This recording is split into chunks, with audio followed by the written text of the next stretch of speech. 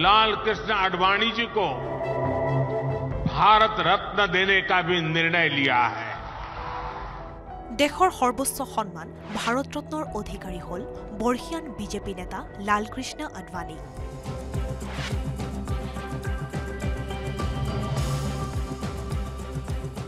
ৰাম মন্দিৰ প্ৰতিষ্ঠা আন্দোলনৰ পথিকৃত আডৱানীয়ে লাভ কৰিলে তেওঁৰ সামাজিক অৱদানৰ স্বীকৃতি বঁটা ঘোষণাৰ পাছতে আডৱানী শুভেচ্ছা প্ৰধানমন্ত্ৰী নৰেন্দ্ৰ মোদীৰ।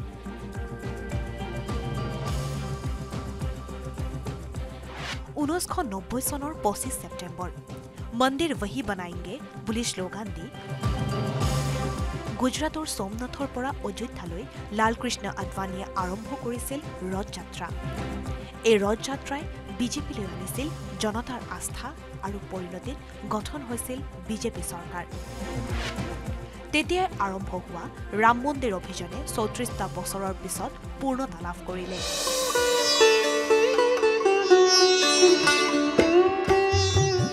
আডৱানীয়ে কোৱা স্থানতে সঁচাকৈ নিৰ্মাণ হ'ল আটকধুনীয়া ৰাম মন্দিৰ।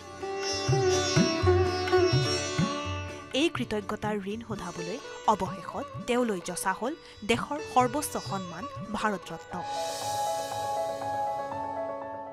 ছিয়ানব্বৈ বছৰীয়া আডৱানীলৈ দেশৰ সৰ্বোচ্চ অসামৰিক বঁটা ঘোষণা কৰি সামাজিক মাধ্যম এক্সত প্ৰধানমন্ত্ৰী মোদীয়ে লিখিলে আডৱানীজীক ভাৰত ৰত্ন বঁটা প্ৰদান কৰাৰ বাৰ্তা শ্বেয়াৰ কৰি মই অতি সুখী। তেওঁ আমাৰ সময়ৰ সন্মানীয় ৰাষ্ট্ৰনেতাসকলৰ অন্যতম। ভাৰতৰ উন্নয়নত তেওঁৰ অৱদান কীৰ্তিচিহ্নস্বৰূপ তৃণমূল পৰ্যায়ত কৰা কামৰ পৰা আমাৰ উপ প্ৰধানমন্ত্ৰী হিচাপে জাতিটোৰ বাবে সেৱা কৰালৈকে তেওঁৰ জীৱন পৰিক্ৰমা বিস্তৃত। তেওঁক ভাৰত ৰত্ন প্ৰদান কৰাটো মোৰ বাবে অতি আৱেগিক মুহূৰ্ত। তেওঁৰ সৈতে কথা পতা আৰু তেওঁৰ পৰা শিকিবলৈ বাৰম্বাৰ সুযোগ পোৱাটো মোৰ সৌভাগ্য বুলি সদায় গণ্য কৰিম। आज देश ने अपने एक महान सपूत, पूर्व उप प्रधानमंत्री लाल कृष्ण आडवाणी जी को भारत रत्न देने का भी निर्णय लिया है।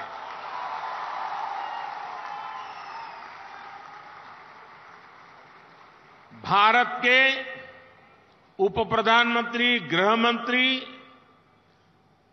एवं सूचना प्रसारण मंत्री के रूप में और दशकों तक एक निष्ठावान, जागरूक सांसद के रूप में आदरणीय अडवाणी जी ने देश की जो सेवा की है, वो अप्रतिम है।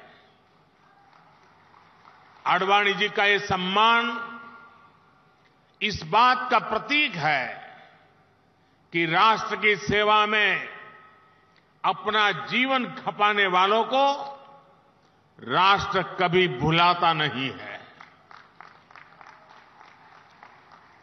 मेरा सौभाग्य रहा कि लाल कृष्ण आडवाणी जी का स्नेह, उनका मार्गदर्शन मुझे निरंतर मिलता रहा है।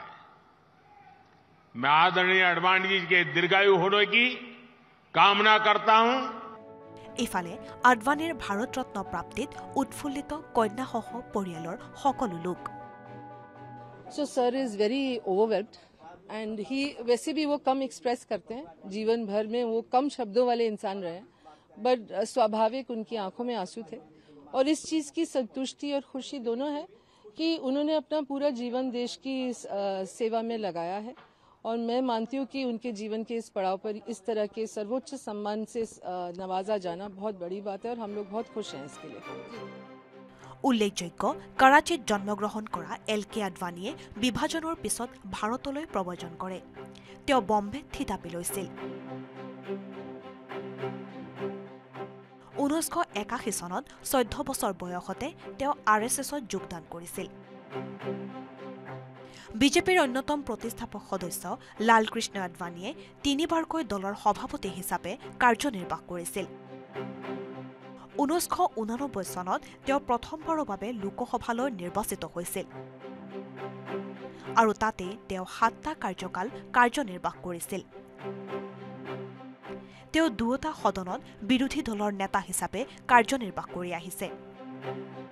ঊনৈছশ আঠানব্বৈ চনৰ পৰা দুহেজাৰ চাৰি চনলৈ গৃহ পৰিক্ৰমা মন্ত্ৰী আৰু দুহেজাৰ দুই চনৰ পৰা দুহেজাৰ চাৰি চনলৈ উপ প্ৰধানমন্ত্ৰী হিচাপে কাৰ্যনিৰ্বাহ কৰা তেখেতে দুহেজাৰ ঊনৈছ চনলৈকে ভাৰতীয় সংসদত কাৰ্যনিৰ্বাহ কৰি বিজেপিক এটা ডাঙৰ ৰাজনৈতিক দল হিচাপে উত্থানৰ স্বীকৃতি লাভ কৰে मैं लाल कृष्ण अडवाणी ईश्वर की शपथ लेता हूं कि मैं विधि द्वारा स्थापित भारत के संविधान के प्रति सच्ची श्रद्धा और निष्ठा रखूँगा। मैं संघ के मंत्री के रूप में अपने कर्तव्यों का श्रद्धापूर्वक और शुद्ध अंतकरण से निर्वहन करूँगा। দুহেজাৰ পোন্ধৰ চনত তেওঁক ভাৰতৰ দ্বিতীয় সৰ্বোচ্চ অসামৰিক সন্মান পদ্ম বিভূষণ বঁটাৰে সন্মানিত কৰা হৈছিল। News desk report news eighteen Assam north east.